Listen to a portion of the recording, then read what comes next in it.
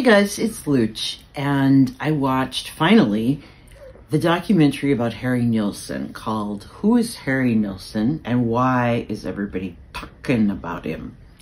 He performed the song Everybody's Talking in Midnight Cowboy. He didn't write it, interestingly enough. He was a songwriter of epic proportions. He was sort of a misfit and drifted into this career and worked with people who believed in him and his talents. And he had such a unique voice and was admired by Brian Wilson and Yoko Ono and Ringo and Robin Williams all people he had worked with. He was very good friends with Ringo and of course John Lennon in the the lost vacation years. His relationship with John Lennon was, you know, they were close, but it was really on a self-destructive kind of tear. He was pretty self-destructive. He was married about three times, kind of got it right on the last one.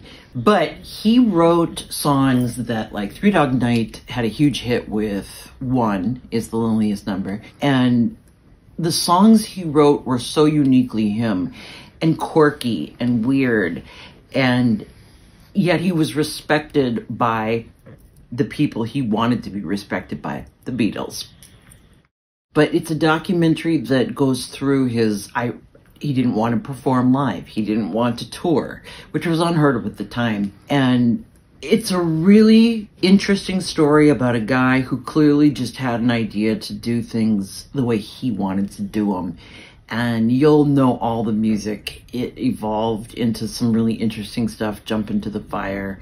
And as Micky Dolenz of the Monkees, who talks, who was a good friend of his, talks and says, you know, he just wasn't a guy that was coasting and stopping and slowing down. He just was on full speed ahead, self-destructively, unfortunately. Right, you guys?